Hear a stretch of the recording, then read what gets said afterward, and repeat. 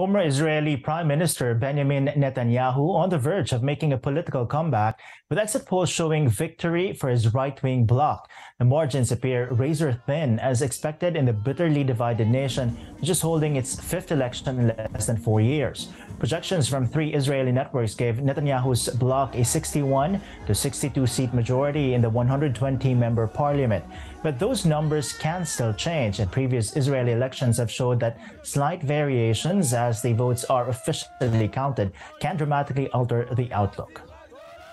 Brazil's Jair Bolsonaro breaks his silence following his election defeat to former President Luiz Ignacio Lula da Silva. Bolsonaro says he would comply with the Constitution in a short speech that did not reference his loss. He also says protests over the poll results should be peaceful after supporters blocked roads around the country, even with some even calling for a military coup.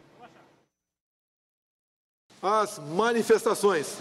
Peaceful demonstrations will always be welcome, but our methods cannot be those of the left, which have always harmed the population, such as invasion of property, destruction of heritage, and restricting freedom of movement It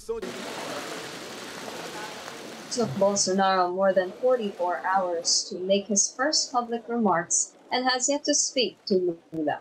The delay has raised fears that the far-right leader would contest the narrow result of the election, but his chief of staff says Bolsonaro had already authorized the transition process. A Filipino-Canadian para-athlete makes his acting debut in a romantic comedy film, while proudly Filipino brands are on display in San Francisco. Let's check out the latest stories from our North America Bureau with our correspondent, Henni Espinosa. Good morning, guys. Here are the latest stories making headlines in the Filipino community.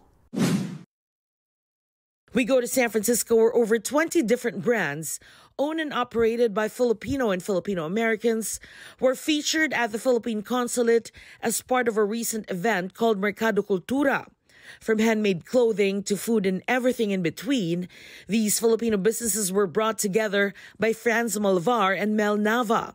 We wanted to go for uh, high value or um, you know upscale brands. You know, just so we could promote uh, Filipino culture. We wanted to promote that Philip, the Philippines is uh, you know it's a place where you can get really nice products and um, you know for great value. Mercado Cultura was made possible with the partnership of Filipino-owned Dynamica Space, the Philippine Consulate General in San Francisco, and the Philippine Trade and Investment Center, Silicon Valley. We hope to bring it back to San Francisco next year, but also hope to bring it to other cities. So we're aiming for New York next year, maybe LA. And finally, in entertainment news, we get to know Filipino Canadian actor Aristotle Domingo, who starred in a rom com movie called Picture Perfect Romance that's currently airing on Amazon Prime and other channels. Can I join? This is Domingo's first full length film, and he couldn't be more excited to represent his Filipino heritage, the LGBTQIA plus community, and people with disabilities. I think it's really important to have that representation in mass media because we don't get to see a whole lot of it. There's also a, a bit of background of the LGBTQI2S plus community, which I'm very much happy to represent as well. Domingo plays Kenny, who has a physical disability and is getting married to his same sex partner. The writer and producer of the movie shared why Domingo was perfect for the role. I wanted um, an actor who embodied that spirit of resilience. I think it's just one of those projects that the character found the right actor, so to speak.